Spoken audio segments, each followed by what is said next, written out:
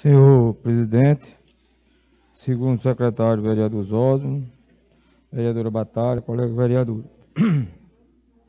Quero deixar bem claro que esse reajuste começou pelo governo federal, de onerar o desconto da alíquota dos servidores públicos federais, estaduais e chegou para adequar o, para o município. Mas, como a minha posição, sou contrário a qualquer carga tributária que aumente para os, os é, funcionários públicos ou até mesmo aos contribuintes, eu sou contrário porque, na verdade, os 11% não é pouco, já dá para descontar.